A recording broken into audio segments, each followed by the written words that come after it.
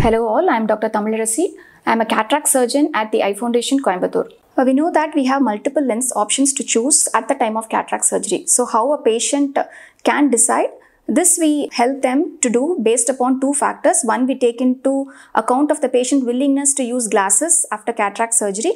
Second, based upon their eye measurement. So when a patient is diagnosed to have cataract, we subject them into a measurement called biometry using the most advanced device, which is the IOL Master 700, which takes the measurement of the eye and it helps us to uh, calculate the power of the intraocular lens to be placed in the eye and also we take into account of the patient's lifestyle that is what are the activities and what are the hobbies and what is the range of vision they like to spend most of the time after cataract surgery.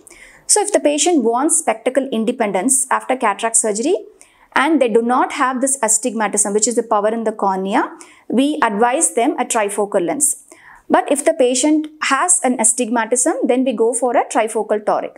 But the patient does not mind to use glasses for intermediate and near vision, then we give them a monofocal option so that their distance vision will be clear, whereas they need to use glasses for intermediate and the near vision.